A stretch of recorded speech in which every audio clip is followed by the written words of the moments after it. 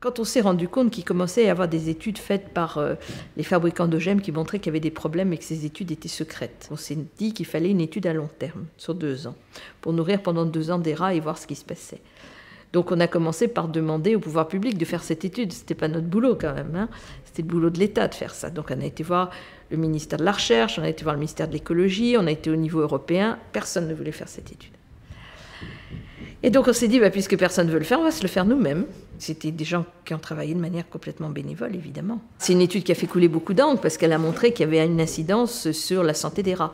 Les femelles rats développaient des tumeurs, pas toutes cancéreuses, mais certaines l'étaient, et les rats mâles euh, développaient des nécroses euh, du foie et des reins. Voilà, donc évidemment, c'était un hurlement de la part de tous ceux qui euh, veulent vendre des OGM, donnent les autorisations et considèrent qu'il n'y a aucun problème.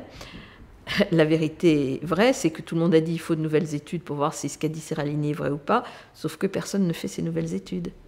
Question, pourquoi? On continue euh, à faire des OGM.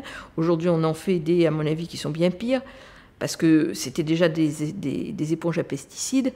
Aujourd'hui, on mélange dans un même OGM euh, la résistance à trois herbicides et deux fois pesticides. C'était des cocktails abominables. Bon, euh, voilà, mais on continue. Euh, donc c'est très très irritant. Mais enfin, j'ai le sentiment d'avoir contribué à faire mon devoir.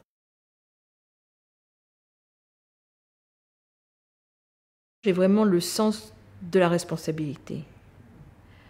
Je pense qu'à partir du moment où quelqu'un sait qu'il a la, capacité d'agir, il est criminel s'il ne le fait pas, s'il n'agit pas. Donc c'est simplement le sens des responsabilités, le sens de la justice. Je veux dire, on fait, on fait manger par des milliers, des millions de personnes quelque chose dont on imagine que ça pourrait être dangereux. La moindre des choses, c'est d'essayer de voir si ça l'est ou pas quand même. C'est une question de responsabilité évidente. Je pense que chaque individu, s'il a connaissance d'un risque potentiel pour ses congénères, bah, il doit faire quelque chose. Il ne veut pas dire, bah oui, je le sais, je m'en fous. Enfin, moi, je ne suis pas faite comme ça, en tout cas.